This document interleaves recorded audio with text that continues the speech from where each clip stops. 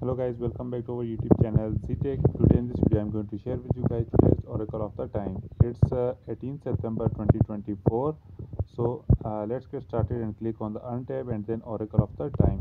Here you can see that our question of the day is when was the ethereum erc20 token standard proposed? Okay guys so this is our uh, today questions